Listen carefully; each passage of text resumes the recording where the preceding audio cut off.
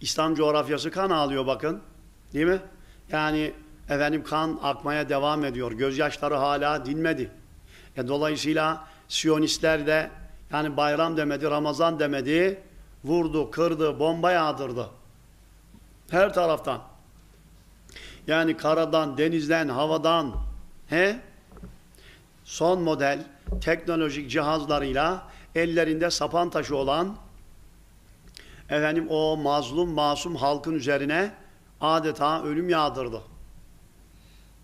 Yani bakıyorsun ne zaman Ramazan geliyor bu melun hemen saldırıyor. Yani bu Ramazan ayında bu işlerin olması tesadüf müdür? Bir değil, iki değil. Devamlı böyle oluyor mesela. Nasıl oluyor bu iş? He? Devamlı Ramazan'da saldırmaları. Ne demek? Müslümanlara hakaret değil mi? Alay etmek, hiçe saymak. Koskoca İslam coğrafyası Çıbanbaşı gibi orada istediği zaman gidiyor efendim Filistinlere saldırıyor.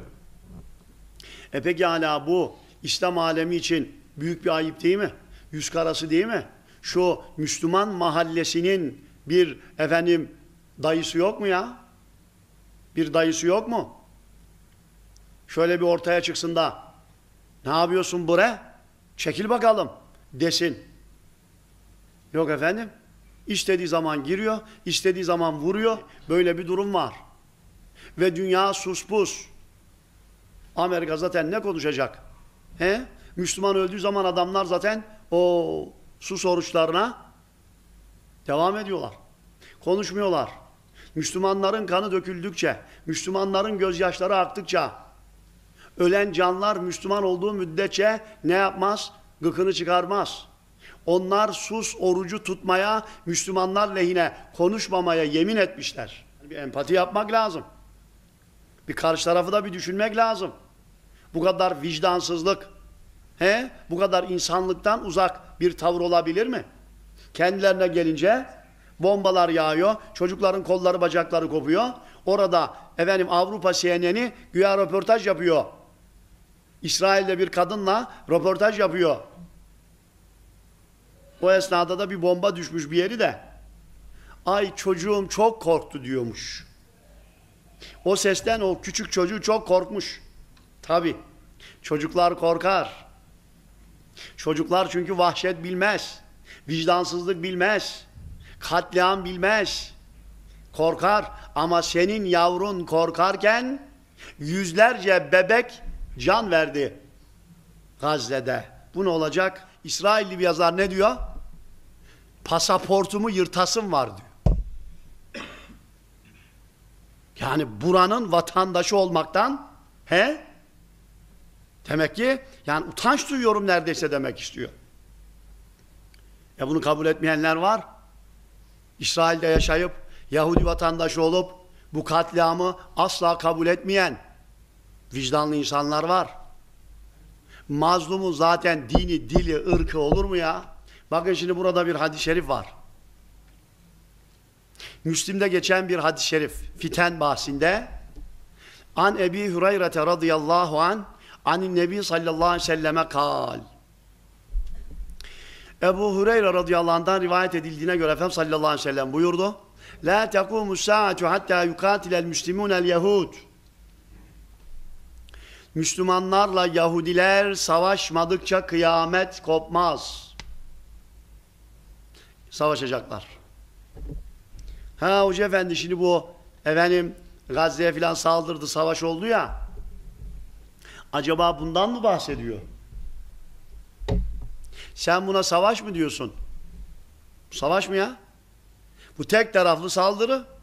Bu işgal. İstediği gibi giriyor, istediği gibi çıkıyor. He? Hani efendim Avrupa'da eylem yapan efendim Yahudilere bir Türk vatandaşı ne yaptı? Tepki göstermişti. Hatırlıyor musunuz? Seyrettiniz mi onu? Siz dedi katilsiniz dedi. Hadi onlara da dedi silah verin de görelim bakalım diyor. Ya sizin kullandığınız o son model teknolojik silahların onda birini verin bakalım efendim Gazze'dekilere, Filistin'dekilere hadi bakalım o zaman bir kozlarınızı paylaşın bakalım. Ya savunması insanlara saldırma ne var? İşlerinden bir grup çıkmış silahlı bir grup ötlerini patlatıyor bunlar. Dolayısıyla burada bahsedilen o değil. Bu savaş değil. Bu zaten işgal. Ne, ne diyor bakın? Efendimiz sallallahu aleyhi ve sellem Müslümanlarla Yahudiler savaşmadıkça kıyamet kopmayacak. Feyaktülühüm feyaktülühümül müslimun. Müslümanlar onları öldürecekler. Onları yenecekler, galip gelecekler. Yani bir tane bile demek bırakmayacaklar ki hatta yahtebiyel yehudiyyü min verâil haceri ve şecer.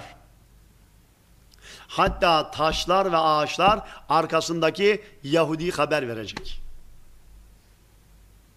Feyekulul haceru ve şecer Ağaçlar ve taşlar diyecek ki Ya Müslim, Ya Abdallah Ey Müslüman Ey Allah'ın kulu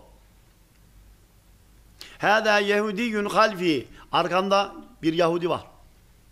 Feteal gel faktülü onu öldür. Haber verecek.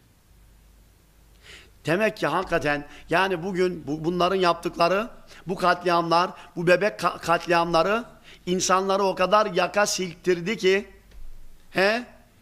Yahudi vatandaşlarından bile vicdanlılar asla bunu kabul edemiyor. Halklarda bir tepki oluşmaya başladı. Bu kadar canilik olur mu? Bu kadar vahşet olur mu? Kimi kandırıyorsunuz? Bir taraftan yok baldalar yok oluyor. Yok kelaynaklarının sonu geliyor diye dünyayı ayağa kaldıracaksın. He? Yok efendim bir tane canlıyı kurtarmak için, bir tane martıyı kurtarmak için güya bütün imkanlarını seferber edeceksin. Bu kadar milyon dolarlar harcayacaksın. Bilmem hangi hayvanın hangi türü yaşasın diye ama sen orada hayvandan da aşağı bir efendim icraatla insanları katledeceksin. Belek, bebekleri parça parça edeceksin. Yani buna hangi vicdan ehli eyvallah der ki? Ya Demek yaka silkecek. O kadar ki ağaçlar bile, taşlar bile yeter artık diyecek ya. Yeter ya bu kadar vahşet olur mu ya? Ey Müslüman, ey Allah'ın kulu gel bak burada da bir tane var diyecek. O Siyonistlerden demek. İllel garkat ancak garga ağacı müstesna fe innehu min yahud o Yahudi, Yahudi ağacındandır diyor Efendimiz sallallahu aleyhi ve sellem. Yani gargat ağacı müstesna Diğer ağaçlar hangi ağaç olursa olsun çınarından, selvisinden, kavağına kadar hepsi konuşacak ama garkat ağacı konuşmayacak. Yani arkamda Yahudi var gel öldür demeyecek o. Hadis-i şerif böyle diyor. Müslim Fiten bahsi 82 numara 2922. Yani kaynak da vereyim de hadis inkarcılarının çok olduğu günümüzde he Kaynağı da arayıp baksın bulsunlar. Gerçi adam hadise, hadise inanmıyor ki. He? Bukhari'ye inanmıyor ki adam. İnansan da ne olur, inanmasan da ne olur? Muhammed Mustafa sallallahu aleyhi ve sellem beyan buyurdu. Ne yapacak? Zuhur edecek. Etmedi mi? Bak, letüftehannel Konstantiniye feleni'amel emiru emiruha ve leni'amel ceyşü zâlikel ceyş. Efendimiz sallallahu aleyhi ve sellem ne buyurdu? Letüftehannel Konstantiniye. Elbette muhakkak Konstantinopolis yani İstanbul fetholunacak buyurdu ve fetholundu mu? Evet. Yani o zaman var ya Sultan Fatih zamanında samimi söylüyorum he eğer bugünkü bazı ilahiyatçılar olaydılar İstanbul filan fethedilmezdi be. Neden? Herif hadise inanmıyor ki. Hadislere inanmıyor ki yani seferi desteklesin. Kütüb-ü Sitte'deki hadisi bile kabul etmiyor. Şimdi bu az önce İstanbul'un fethiyle alakalı olan hadis-i şerif nerede geçiyor? Kütüb-ü Sitte'de değil ha. Kütüb-ü Tisa'da da değil. Hakimin müstedrekinde geçen bir hadis. Ama sen inanmıyorsun diye olmadı mı? Oh işte bak fetih gerçekleşti. İşte Efendimiz sallallahu aleyhi ve sellem hem de Kütüb-ü Sitte'de hem de Müslim'de geçen bir hadis-i şerifte bunların olacağını beyan ediyor Efendimiz Aleyhisselatü Vesselam. Zamanı gelince, vakti gelince ne yapacak? Bunlar hep zuhur edecek. Ama bakın İsrail'de şimdi İsrail devleti hep bu ağacı dikiyormuş biliyor musun? İnternetten açın bakın görürsünüz. Dikenli böyle pis kokulu bir ağaçmış. He? Onlar haber vermeyecekler ya. Onlar Yahudileri söylemeyecekler ya. Adam hadis-i şerifi bulmuş, araştırmış, o ağacı da bulmuş, ekmiş bile. Ya. Şimdi efendim bu hadisten haberi olmayan o kadar adam var ki. Taş ey Allah'ın kulu, ey Müslüman diyecek ama sende bende o kulak var mı? Bakalım onu duyacak mıyız? He? Herif Müslümanım diyor ezanı duymuyor be. Bangır bangır hoparlörlerle ezan okunuyor. Adam duymuyor. Duymuyor derken duyuyor. Duyuyor da icabet etmiyor. İcabet etmediği zaman duymuş sayılır mı? Ya dolayısıyla mesele ne biliyor musun? İşte o Müslümanlardan olabilmek. O Müslümanlardan olursak o zaman elini kolunu sallaya sallaya Gazze'ye giremez, Filistin'e giremez.